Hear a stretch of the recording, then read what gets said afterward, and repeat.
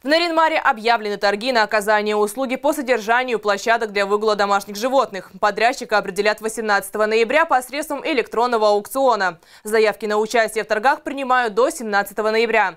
Специально отведенные места для выгула и дрессировки собак в столице округа впервые были оборудованы два года назад. Тему продолжит Александра Литкова. Для этих швейцарских овчарок площадка для выгула и дрессировки собак – любимое место для прогулок. Их хозяйка Елена Калинина считает, что прогулки здесь открывают замечательные возможности и для владельцев, и для их питомцев. Например, для таких крупных пород выплеснуть накопленную энергию. Я с собаками предпочитаю эту большую площадку.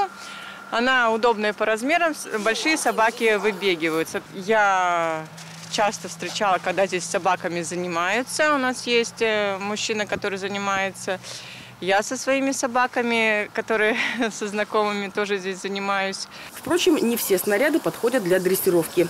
Хотелось бы, чтобы были другие немножко снаряды, которые, например, при, даже вот для этих собак, они более грузные, и по этим снарядам им тяжело как бы идти.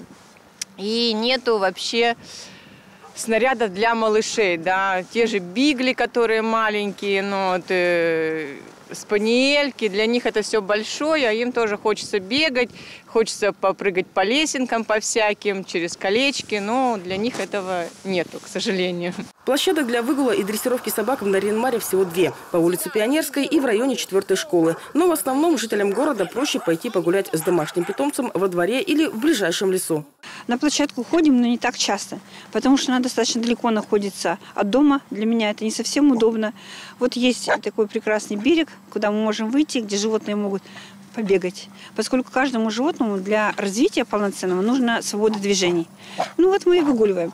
На площадке одновременно могут присутствовать собаки разных пород, и неизвестно, как они могут повести себя. Все дело в том, что площадка предназначена для выгула собак, свободного, без намордника, без поводка. И бывает, ну, не часто в нашем городе, что встречается несколько собак. Но обычно э, владельцы собак всегда могут между собой договориться. Они знают, сможет ли собака мирно играть, или она будет конфликтовать, и, соответственно, ее отпускать не надо, она может гулять только одна. Содержанием площадок с начала текущего года занимается предприниматель Алексей Ходунков по заказу муниципального учреждения «Чистый город». Кто будет содержать их в 2022 году, определят 18 ноября на электронном аукционе. Победителю торгов предстоит в течение года очищать территории от мусора, собирать мусор из урн и вывозить на полигон ТБО, очищать от снега, подсыпать тротуары песком. В случае поломок производить ремонт деревянных конструкций, скамеек, ограждений. Состоянием площадки, конструкции, элементов, э, отсутствие мусора, то есть и все, чтобы необходимо было в целости и сохранности, также э, отсутствие наличия предметов, которые будут угрожать животным и людям.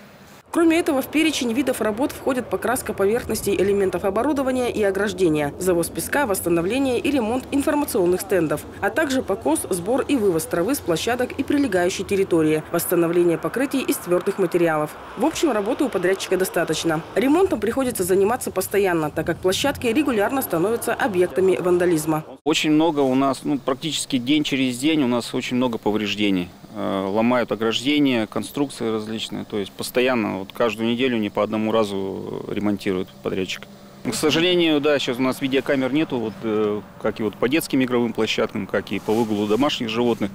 Э, вот нет у нас видеокамер, когда можно вот слеживать, хотя бы вот узнать, кто это вот вандализмом занимается, так называемым.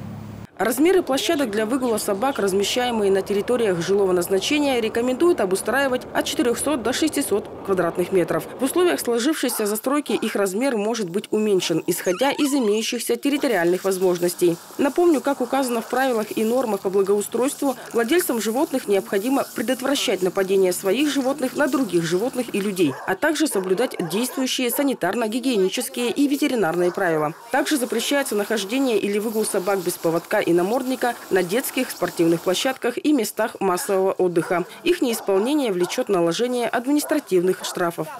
Александра Литкова, Антон Выдряков, Владислав Носкин, телеканал «Север».